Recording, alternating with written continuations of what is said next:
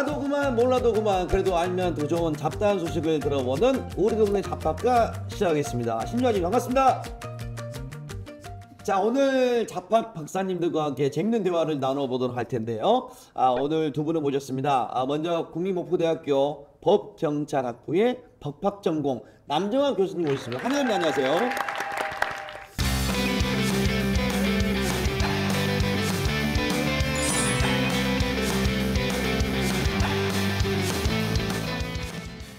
자 그리고 국립목포대학교 법경찰학부의 경찰안전법전공 조은별 교수님 모셨습니다. 환영합니다.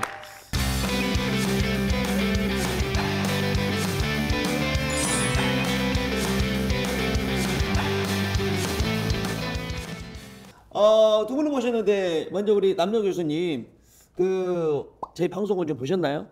네, 좀 봤습니다. 어 이제 좀 어떻게 보셨는지 궁금해. 굉장히 이렇게 긴장을 많이 하고 네네. 이제 제가 어떤 걸 준비하면 좋을까라고 했는데 네. 되게 이 편안한 분위기 속에서 이제 네. 학생들하고 다양한 얘기를 이제 얘기할 수 있게 해주셔서 되게 좀잘 네. 관람을 하고 왔습니다. 그 남편 교수님이 실은 이제 저희가 리허설 할 때는 너무 밝고 말도 엄청 많이 하시고 그랬는데 막상 쭉 들어가니까 굉장히 점잖으시네요. 네, 컨셉입니다. 자 그리고 조별 교수님 네. 아, 오늘 그 여기 나오면서 예, 나름대로 이제 공부도 하고 좀 그러셨는지 궁금합니다. 아 열심히 벼락치기 하고 왔습니다. 예, 아니 그 준비하면서 부담 같은 건 없었는지. 부담을 원래 가지고 있다가 네네. 오기 전에 방송 영상을 보니까 네. MC님께서 너무 잘 진행을 해주셔서 예. 굳건히 믿고 마음 편하게 왔습니다. 아 그러면 지금 학교에서 저희 그 이미지가 그렇게 나쁘진 않네요. 아, 그럼 너무 좋으세요. 참 다행이라고 생각합니다. 자 오늘 그 두 분을 모셨는데 먼저 이 법학 전공을 한번 소개를 해줘야 될 것 같아요. 학과 소개 좀 부탁드리겠습니다. 네, 저희 과는 법경찰학부에서 저는 법학 전공을 담당하고 있는데 네. 사고 걸렸어요. 네, 법을 소재로 하는 그런 고유한 방법론을 가진 학문입니다. 그래서 시대 법은 이제 시대에 따라서 가변적이거든요. 그래서 네. 그 시대가 추구하는 법에 대해서 전반적으로 배우고 이제 법은 공법과 사법으로 나뉘는데요. 다양한 기본법들을 배우면서 음. 이제 다양한 지역에서 진로를 탐색할 수 있는 그런 전공이라고 할 수 있습니다. 그 학과의 그 분위기가 어때요? 그래서 뭐 이제 음악학과나 이런 데는 되게 원래 밝, 밝고 뭐 음악 하시는 분들이니까 다른 다른데 법학 전공하기는 왠지 모르게 좀 나갈 거고 좀 그런 느낌이 있는데. 저도 그런 생각을 가지고 공부를 했고 이제 여기 학교에 오면서도 학생들의 분위기가 어떨까 했었는데 네. 의외로 저희 과가 예. 저희 사회대에서 체육대라면 몇 년째 사회대에서 체- 체육대 1등을 하고요. 굉장히 어. 학생들이 활발하고 예. 공부할 때는 굉장히 열심히 공부하고 예. 뭐 굉장히 밝고 생각보다 이제 딱딱하거나 공부만 하는 분위기는 아닙니다. 놀땐 어. 확실히 잘 놀고요. 아 그러면 그 교수님하고 제자분들하고 사대가 잘 맞는 것 같습니까? 저는 그렇다고 생각하고 있는데요. 아, 제 제자분들의 생각을 좀 들어봐야니까. 네.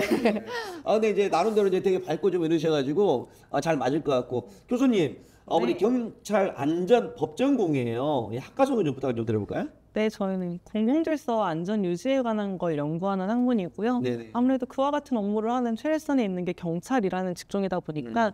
주로 경찰학과 관련된 과목을 집중적으로 배우고 있습니다. 네네. 뭐 범죄 수사론이나 음. 아니면 범죄 예방론 또는 형법 학 과목 같은 거 네네. 그리고 더불어서 요새는 워낙에 사이버 기술이나 정보부가 중요한 시대다 보니까 네네. 그와 관련된 최신의 트렌드 학문도 같이 배우고 있습니다.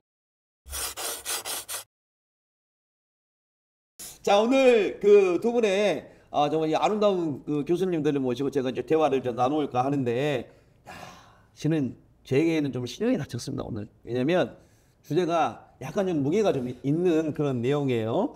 아 오늘의 주제는요 그 사회적인 좀 이슈가 되고 있는 이 낙태 관련된 그런 문제인데 아 먼저 우리 그 교수님 이 그 이 낙태라는 게 실은 이 단어를 좀 사용을 하- 해도 되는 그런 문제인가요?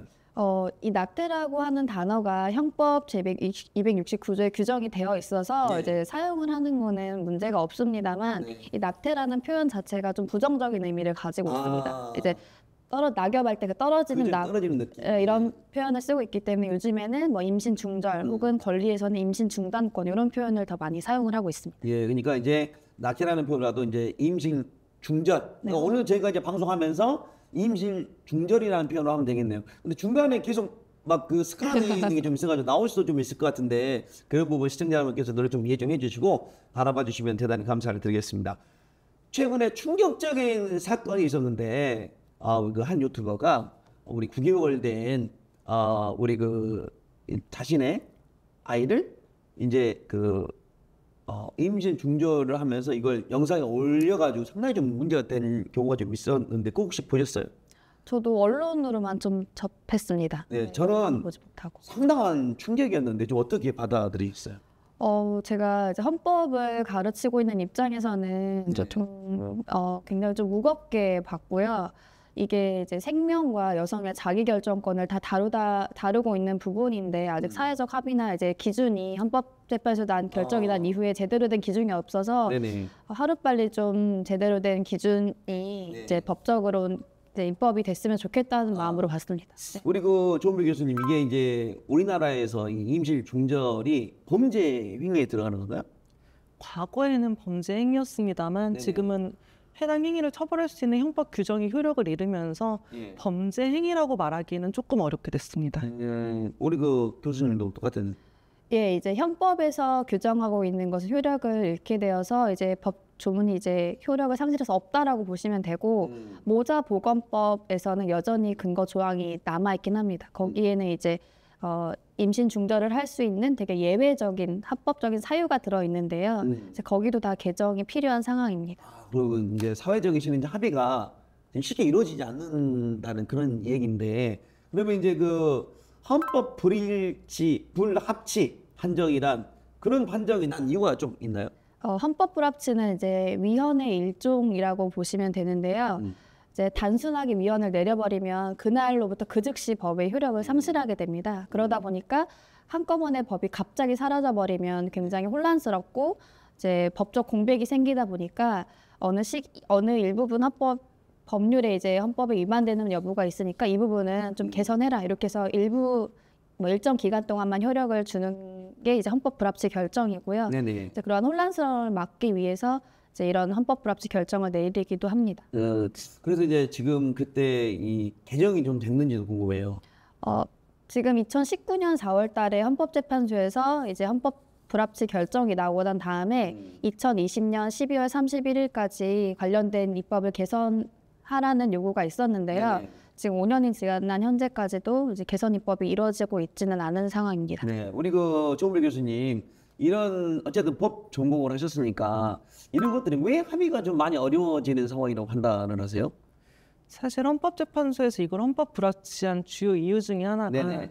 임신 주차에 따라서 낙태의 아. 불법성을 다르게 판단할 필요가 있다라고 생각했기 때문이거든요. 음. 네네네. 근데 사람마다 과연 몇 주차의 낙태가 적절, 적절하다는 표현 음. 자체가 맞지는 않습니다만 네네. 몇 주차까지는 인부의 자기 결정권이 우선돼야 되고 몇 주차부터는 태아의 생명권이 우선돼야 하고 이거를 네. 사실 일률적으로 결정하기가 너무 어려운 문제지 않습니까? 네네네. 그러다 보니 아직까지도 충분한 사회적 합의가 이루어지지 않고 네네. 입법 공백이 이어지는 것 같습니다. 어, 실은 이제 조금 전에 뭐 이야기하셨던 것처럼 어, 실은 이제 그 임신 중절을 허용하는 어, 그런 상황이 있을 수가 있는데 실은 그런 부분들이 무슨 성폭행 관련돼서 뭐 이런 내용도 좀 있을 수가 있고 막 있다고 잠깐 이야기 들었거든요. 어, 예, 이제 이 근본적으로 이 헌법 불합치 결정이 나게 된 이유가 이제 임신 말씀 조은병 교수님께서 말씀을 해주셨는데 이제 태아의 생명권하고 음. 아. 여성의 자기 결정권하고 부딪히는 부분이 있었는데 네네. 이제 태아의 생명권은 당연히 너무 소중하지만 음. 이제 여성에게 전혀 이제 권리를 아주 임시 극초기조차도 전혀 이 여성에게 자기 결정권 부분이 인정되지 않기 때문에 그 부분에서 헌법에 위반된다 이런 결정이 나온 거거든요. 음. 네네네. 네, 제가 좀 전에 말씀을 드렸듯이 모자 보건법에 아주 예외적으로 이제 합법적으로 임신 중절이 가능한 사유들이 나와 있습니다. 음. 어, 좀 전에 MC 선생님께서 언급을 해주셨듯이 성폭행에 의한 성범죄로 인한 뭐 임신이라든지 아니면 네. 오생학적으로 산모하고 태아에게 굉장히 이제 위험한 상황이라든지 음. 이렇게 예외적으로 이제 어, 합법적으로 임, 임신 중절을 할 수 있는 사유가 있지만 그게 너무 예외적이어서 아. 일반적으로 이제 적용이 되기가 너무 어렵고 음. 이제 헌법재판소에서는 어, 여러 가지 사회 경제적인 사유가 있을 거 아니에요. 네네네. 뭐 대학생, 그러니까 우리 열심히 활동을 해야 되는 대학생들이라든지 뭐 10대라든지 아니면은 이미 우리 집에는 아이가 굉장히 많아서 음. 뭐더 이상 아이를 뭐 키울 만한 상황이 아닌 여러 가지 사회적인 이유가 있는데 네네. 이런 것들이 전혀 고려되지 않고 일률적으로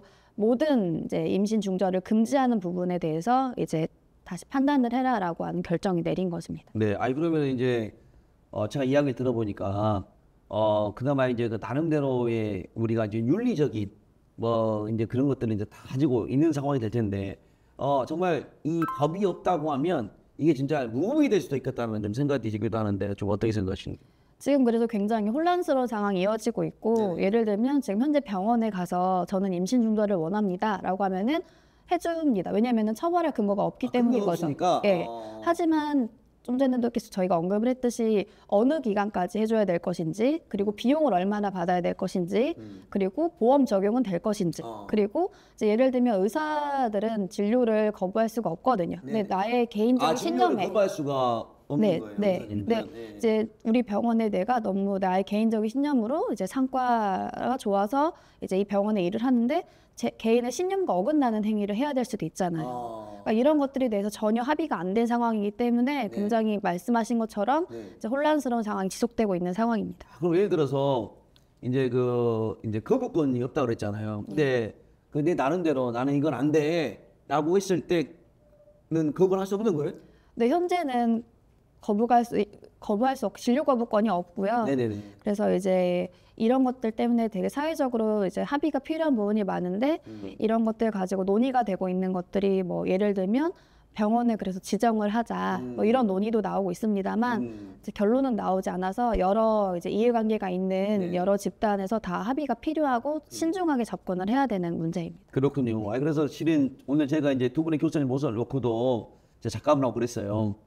어 오늘 주제가 우리 임신 중절인데 다른 얘기도 좀 많지 않냐라고 이야기를 했다가 결국에는 이제 왜냐하면 우리가 이 법을 공부하신 분들이기 때문에 이런 것들도 나름대로 정보가 돼야 된다는 그런 생각으로 이제 제가 이제 말을 하게 됐는데 조은별 교수님 그렇다고 하면 예를 들어서 이게 사건화가 됐을 때 수사 과정도 어떻게 좀 해결이 잘 되는 편인가요? 어때요? 지금 사실 만약에 사건이 접수됐다 네네. 누군가가 임신 중절을 했다라고 들어온다면 네네. 사실 여러 차례 반복해서 말씀드리지만 낙태죄는 더 이상 처벌할 수 있는 규정이 없기 때문에 아, 안 되는 거고. 낙태죄 가지고는 수사를 할 수가 없습니다. 네네. 그렇다면 수사 기관에서 이 수사를 진행할 수 있는 방법은 만약에 살인 혐의가 네. 확인이 된다면 해당 살인과 관련한 사건 수사를 할 수 있거든요. 그런데 아까 처음에 말씀하셨던 그 9개월 된 아기 네네네. 임신 중절했던 그 사건에 있어서도 사실 사산 여부를 입증한다는 게 아. 굉장히 어렵습니다. 네네네. 현재 그 부분에 있어서 실질적으로 입증에 곤란을 겪어서 계속 사건이 지지부진하다고 알고 있고요. 네. 그러다 보니 그런 부분에 수사기관으로서는 큰 입증 부담을 갖고 있는 상황입니다. 예. 야, 어떻게 본다면 이게 그 법 개정이 좀 어떻게 보면 이제 빨리 이루어져야 되는 그런 상황인데 아, 이루어지지 못하는 이유 중에 하나는 우리 그 조금 전에 이야기하셨던 것처럼 어, 이 이제 사회적인 이제 합의가 결국엔 잘 돼야 되는데 이 쉽지 않은 것 같고 또 이제 개인차도 다 있을 거 아니에요.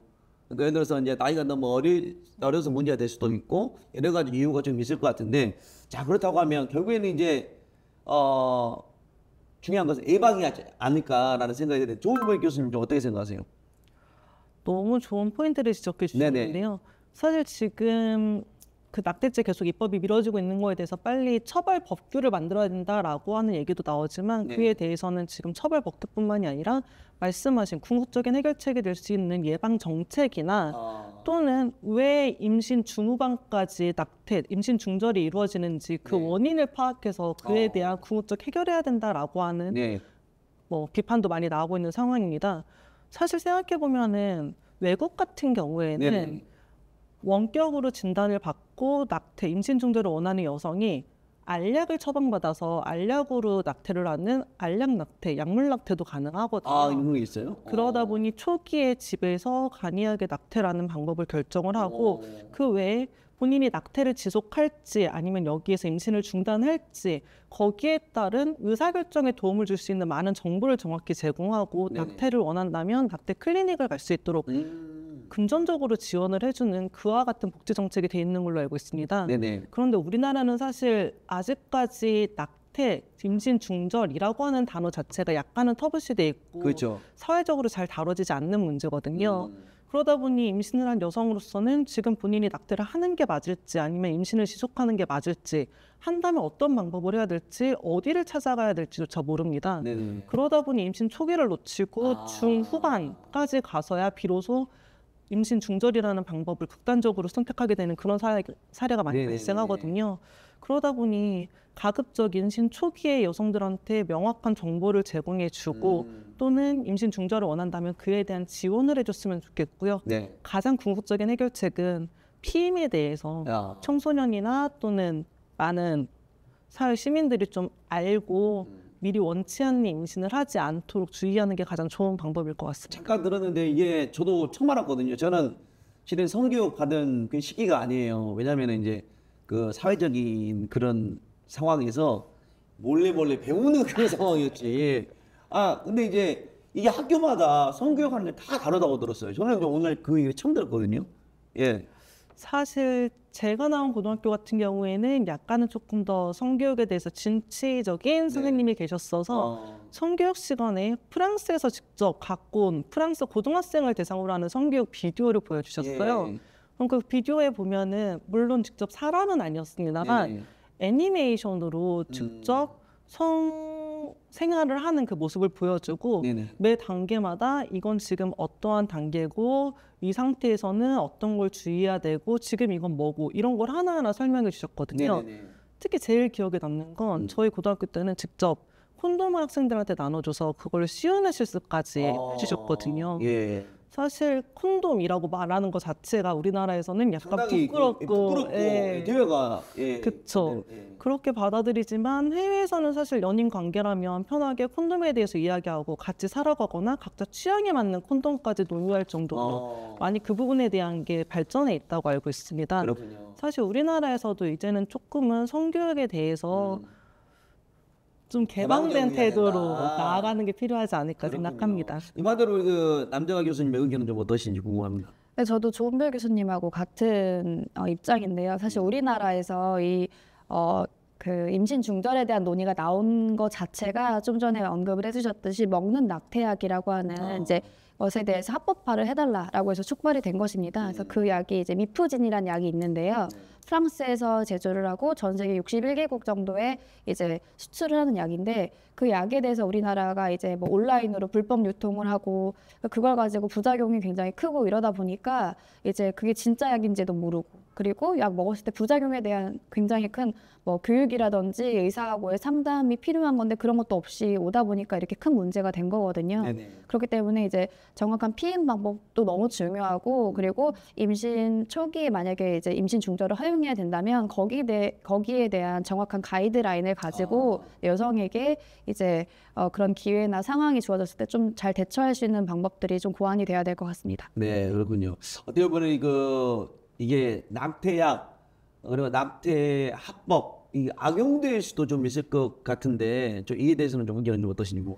생명 존중 사상이 너무 중요하지만 이로, 이로 인해서 생명 경시 풍조가 이제 확산이 되면은 당연히 너무 사회적인 큰 문제가 될 것 같고요. 여기에 대해서는 이제 뭐 청소년 그 초등학교부터 철저한 이제 바른 교육이 이제 뒷받침돼야 될 것이고 확실하게 이제 좀 전에도 말씀을 드렸듯이 이제 정확한 방법들이 좀 가이드라인이 잘 제시가 좀 네. 됐으면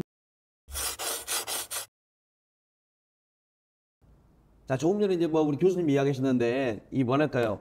그 이런 그 낙태 압도 있고 뭐 여러 가지 이제 방법들이 외국 사례들이 있다 좀 이야기하셨는데 예를 들자면 이에 관련돼서 이제 악용이 될 수 있는 상황도 좀 많이 좀 있을 것 같기도 하고 또 이제 예전에도 그런 이 법을 또 이용한다 이제 악용된 사례가 좀 있을 것 같은데 그런 사례가 좀 있나요? 어, 예, 뭐 과거 같은 경우에는 만약에 연인 관계가 이제 끝난 상태에서 원치 않는 임신을 했을 때 이제 그 당시 처벌 규정이 있었기 때문에 아, 네. 그때는 원치 않는 임신을 해서 병원에서 이제 어, 중절을 받- 임신 중절을 임신 중절 시술을 받게 되면 그걸 가지고 헤어진 남자친구가 이제 보복 심리로 신고를 하거나 이래서 의사 뭐 관련된 관련자들과 여성이 처벌을 받았던 케이스가 있습니다. 네네네. 왜냐하면 그 당시 법에 의해서 여성만 처벌을 받게 되어 있었거든요. 여성과 아. 시술을 도와주는 관계자들만요. 음. 그렇기 때문에 그런 과거의 악용 사례가 있었는데 현재는 이 법의 효력이 없기 때문에 그러한 악용 사례는 발생하지 않겠습니다만 네네. 새롭게 이제 임신 중절의 방법이 다양하게 도입이 되면 예를 들면 좀 전에 말씀을 하셨듯이 먹는 낙태약 같은 경우는 뭐 제대로 된 그 복용 방법을 인지하지 못하고 음. 오남용의 사례가 발생할 수 있어서 여기에 대한 또 이제 뭐 금, 이제 좀 안 좋은 그러한 네. 부작용이나 다른 악용 사례가 발생할 수 있을 것 같습니다. 예.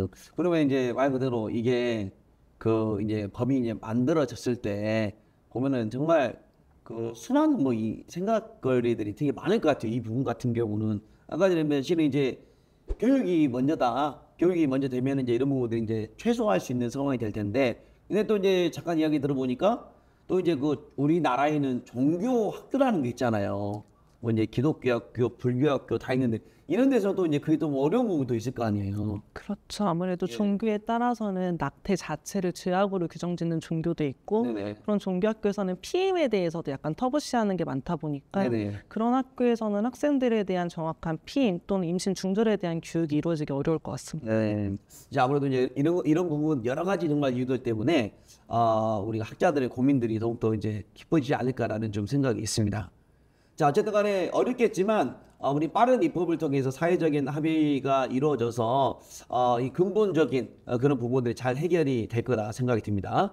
자 이번에는 우리 학생들이 우리 교수님들에게 궁금한 내용을 전달하는 이 교수 톡톡 시간으로 이어드리도록 하겠습니다.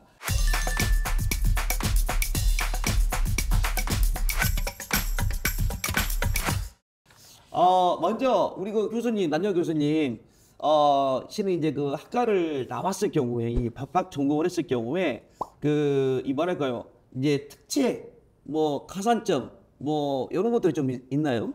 네, 저희가 법 경찰학부에서는 공공안전, 법 공공안전과 경찰로 이제 구분을 해서 이제 학습을 할 수가 있는데요. 저희는 졸업을 했을 때 이제 법학사를 주고 있습니다. 그래서 이제 이걸 가지고 다양한 진로에 이제 적용이 될 수가 있고 공무원 시험을 같은 가- 공무원 시험을 보게 된다고 하면 법학 과목을 이수했기 때문에 유리한 점이 있고요. 음. 그리고 법학사를 가진 학생들이 이제 뭐 공- 경찰 공채에 또 지원할 수 있는 분야도 있어서 다양하게 유리한 점들이 있습니다. 네, 우리 그 조은미 교수님 생각은요? 저희 경찰안전법 전공 같은 경우에는 사실 대부분의 학생들이 경찰 공무원을 지망하는 경우가 많은데요. 아까 남정아 교수님 말씀해 주셨다시피 경찰 공무원은 입직 경로가 되게 다양한데 음. 말씀하신 법학 특채 쪽도 있고요. 네. 또는 경찰 행정학 쪽을 전공한 학생들을 대상으로 한 경찰 특채도 있습니다. 네. 아무래도 경찰 안전법 전공을 이수하면 해당 분야 특채 감, 특채 입직 경로에 지원할 수 있기 때문에 네. 조금은 유리한 측면이 있고요. 음. 더 나아가서 목포대 같은 경우에는 단순한 경찰 행정법 전공이 아닌 경찰 경찰 행정학 전공이 아닌 경찰 안전법 전공으로 하기 때문에 네네. 경찰법 전 경찰 전공과 법학사 그 전공을 두 개를 아. 같이 갖고 갈수 있거든요. 네네. 그래서 경찰 공무원뿐만 아니라 법학 전공자가 지원할 수 있는 다양한 진로에도 동시에 지원할 수 있기 때문에 음. 그런 측면에서 조금 더 다른 대학에 비해서 유리한 측면이 있습니다. 그러면 이제 그 취직을 했을 때 네. 이러고 이제 뭐 경찰 쪽도 가능하고 또 이제 어디로 갈 수 있는 거예요? 법학 전공을 한 학생들이 갈 수 있는 진로라면 네네. 어디든 다 갈 수 있는 거죠. 어, 저 구체적으로 좀 이야기해 주세요. 저 궁금 왜냐면 저는 이제 법학이 되면 이제 법원 아, 내지는 뭐 어떤 이제 경찰 뭐 이런 쪽 법무사 뭐 어. 이런 게 좀 생각할 것 같은데 이거 말고도 또 많이 있습니까? 뭐 그 부분에 대해서는 제가 조금 더 첨언해 네. 드리면 법이라고 생각하면은 딱 직역이 제한되어 있을 거라고 생각을 하시는데 네네네. 말 그대로 이제 말씀하신 것처럼 전문 직역, 뭐 로스쿨 가서 법조인이 될 수도 있고요. 음. 그리고 관련된 자격증을 취득해서 말씀하신 것처럼 뭐, 뭐 노무사, 별, 뭐 아니면은 네, 뭐 법무사. 법무사 이렇게 다양한 저- 전문 자격증을 취득할 수가 있고 공무원 시험에 법학이 다 이제 필수 과목이 많기 때문에 네. 아. 각종 공무원 시험에도 다 적용이 될 수 있고 네. 그리고 이제 기업체에서도 법무팀 같은 게 있으니까 네네. 다또 취업을 할 수 있고 금융에서도 가고 뭐 되게 다양한 공공기관이라든지 아. 다양한 곳에 취업이 가능합니다. 음 그렇군요. 그, 그 제가 기업을 운영하는데 그 또 이제 법을 또 공부하면 그 기업의 법을 또 만들 수가 있잖아요. 일본 9시까지 출근한다. 점심은 무조건 11시 회사는 그런 것들도 좀 도움이 애초 매당 이게 노동자와 대화를 할 때 그런 것들이 만들 때 도움이 될까요? 어 뭐 내부 규율을 이제 제정하는 데 있어서 네네. 이제 법을 법학을 전공하게 되면 충분한 가이드라인은 제공할 수 있을 것 같습니다. 도움이 된다는 게. 자, 우리 많은 학생들이 대화를 이제 질문이 좀 올려줬는데 이번 질문은요. 어, 딥페이크 이 성범죄 관련돼서 이 대응책이 좀 시급하다고 어, 글을 좀 올려주셨거든요. 근데 이제 그 가해 제한 아, 가해자에 대한 이 처벌과 범죄 예방을 위해서 어떤 노력이 좀 필요하고 저는 생각을 하는지 우리 남정아 교수님 의견 전해 듣도록 하겠습니다. 네, 요즘에 말씀하신 부분이 이제 사회적으로 굉장히 큰 문제가 되고 있습니다. 근데 해당 행위들은 뭐 인격권이라든지 개인의 그 자, 개인 뭐 개인 정보 자기 결정권에 대해 굉장히 심각한 어, 침해가 일어날 수 있고 그 피해가 일어 피해가 굉장히 크기 때문에 여기에 대해서 좀 경각심을 가지고 이제 국가 전반에서 예방 차원의 교육이 이제 우선이 되어야 된다고 생각합니다. 그리고 이 행위에 대해서 아직 구체적인 이제 뭐 법에 제정 제정 상태 제정이 되고 있는 상태인데 네네. 좀더 구체화시켜서 이제 그러한 유포물을 만드는 것, 그 다음에 유포하는 것, 그 단순 소지 이런 것들을 좀 더 구체화시켜가지고 네. 이제 처벌 규정을 강화하면서 이제 사회적으로 이제 굉장히 큰 문제라고 하는 그런 심각성을 인지하면서 그 교육과 이제 처벌 강화 규정이 다 동시에 이루어져야 된다고 생각합니다. 자 오늘 두 분의 교수님을 모시고 저희가 어, 심도 있는 좀 대화를 나눠봤습니다. 어, 이렇게 좀 오픈된 공간이잖아요. 사실 이제 밖에 보면 이제 그 오픈스가 이제 밖에서 이제 잠깐 이렇게 누구신가 이렇게 쳐다보고 가시는 분도 계시고 그러는데 오늘 촬영 같이 해보셨는데 좀 어떠셨어요? 어제 좀 긴장을 하고 왔는데 그래서 좀 편안한 분위기에서 얘기할 수 있어서 좋았고 특히나 좀 사회적으로 다루기 좀 예민할 수 있는 부분에 대해서 이렇게 공개된 장소에서 같이 얘기할 수 있어서 너무 좋은 기회였다라고 생각을 하고요. 제가 준비한 거를 많이 얘기는 못했지만 그래도 네네. 너무 좋은 학생들하고 너무 좋은 추억이 될 것 같습니다. 아 이제 우리 그 나오셨으니까 그 제자분들한테 한 말씀 하셔도 괜찮을 것 같아요. 목포대학교 어디다 보고 말해야 되죠? 오늘 카메라 여기 보고 예, 우리 교수님 뭐갈 수 없잖아요. 아, 네. 어, 우리 목포대학교 법경찰학부 학생들 너무 뭐 매사 공부도 열심히 하고 놀 때 확실히 놀고 운동도 너무 열심히 하고 각자의 영역에서 최선을 다하는 모습이 너무나 대견하고 네, 제가 이제 평소에는 잘 표현을 못하지만 마음 깊이 학생들 많이 애정하고 아낀다는 거 알아줬으면 좋겠습니다. 야 전달 잘하시네요. 예 여기 여- 이거 아니네요. 요즘 왜 그래요? 이러, 이거 이렇게도 있까 보다. 자 우리 그 교수님 네. 그 같이 해보셨는데 좀 의견 아좀 소감 한마디 부탁드리겠습니다. 아, 사실 제가 울렁증이 있어서 와서 잘할 수 있을까 걱정 많이 하고 왔는데 너무 편안하게 잘 이끌어 주셔서 좋은 얘기 많이 할 수 있어서 너무 좋았습니다. 감사합니다. 네. 어 우리 교수님도 이제 이대로 끝내기 좀 아쉬우면 누군가에게 전달하고 싶은 메시지 있을까요? 제자분들한테 좀 애매하면은 우리 부모님들한테도 상관없고 어머, 아니면 이제 임용을 도와주신 우리 선생님한테도 상관없고 어머. 많은 감사하신 분들 저 TV 나왔어요. 네. 감사합니다. 예. 자 우리 그 조물 교수님하고 우리 남자 교수님께서 저녁에 나오셔가지고 아 참으로 흥미있는 이야기를 여러분께 전달해 드렸던 것 같습니다. 알아도 그만 몰라도 그만 아 그래도 알면 더 좋은 잡다한 소식을 전달을 해드리는 우리 동네 잡박가 저희는 다음 이 시간에 좀 더 유익한 정보로 인사를 드리도록 하겠습니다. 여러분 고맙습니다. 안녕히 계십시오.